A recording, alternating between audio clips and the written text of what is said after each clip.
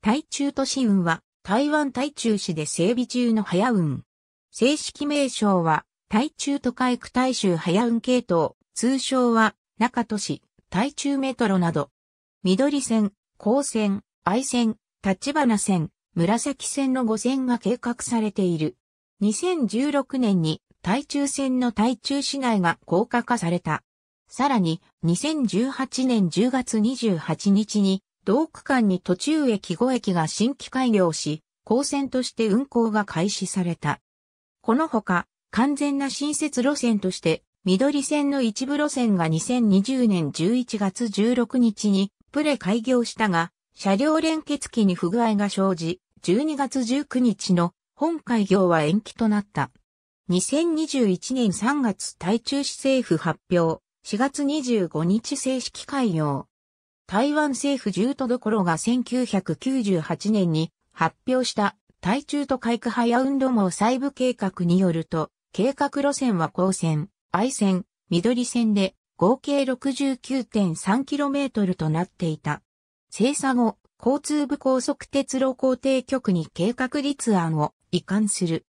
高鉄局は大鉄、都市運河と台中地区校舎歩道等計画を考慮し、検討を重ねた結果、緑線の建設を優先するとした。行政院は2004年10月11日に、旧車地区から新カラス日駅までの計画を認可し、路線名をカラス日分新北トン線とする。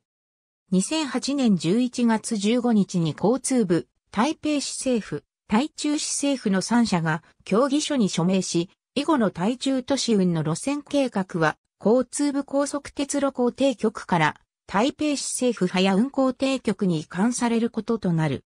青桐製区から台湾大道、砂地角、台中駅を経て環状地区を結び、廃止された BRT 乱線を継承する愛線の実現可能性調査報告が2016年末に交通部の審議通過、2018年8月に行政院の認可を経て総合事業計画策定の着手に移行を目指している。